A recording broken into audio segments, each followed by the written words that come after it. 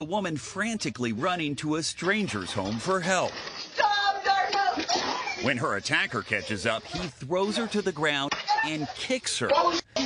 The struggle continues as the man drags the woman by her hair. 23 year old Darnell Rogers.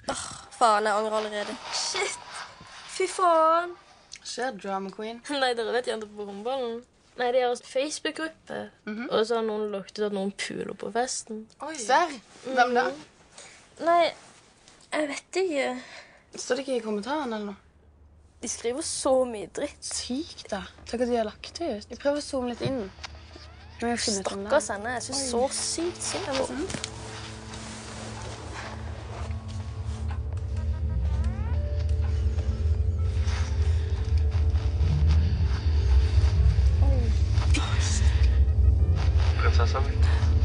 Fy søren. Sofia.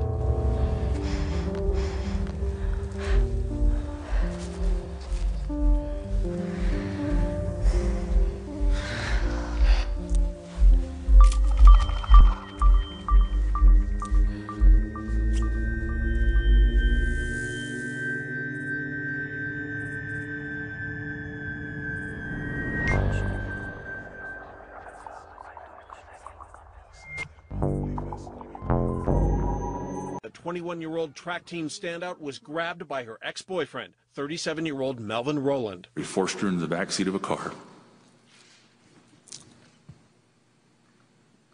Excuse me. That he had driven to campus and he shot her in the car multiple times.